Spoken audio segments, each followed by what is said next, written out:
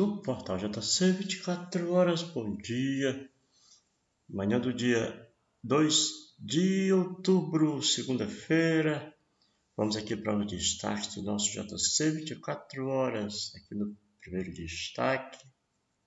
Classificados perdem uma carteira com documentos de Joaquim Barbosa, mas já foram já foi encontrada a carteira. Viu? Problema resolvido, graças a Deus.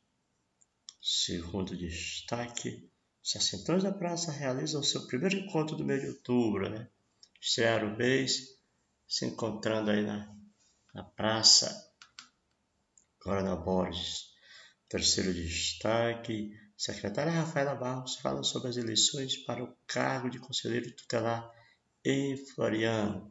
Foi ontem a cobertura do JC 24 horas. Quarto destaque: confira a votação de todos os candidatos a Conselho Tutelar de Floriano, inclusive os suplentes. Está né? Tá aqui a votação completa, você confere aí esta matéria do Gilberto Júnior. Quinto destaque: PM encontrou um veículo produto de roubo em Floriano neste final de semana. Está aí a matéria, você confere também no JC. E para encerrar, eleição para conselheiro tutelar transcorreu num clima de tranquilidade diz PM. Aí uma entrevista com a Major Lúcia Jane falando sobre o pleito eleitoral para o Conselho Tutelar. Nós vamos encerrando por aqui. Daqui a pouco esses destaques já serão substituídos, porque aqui a notícia não para.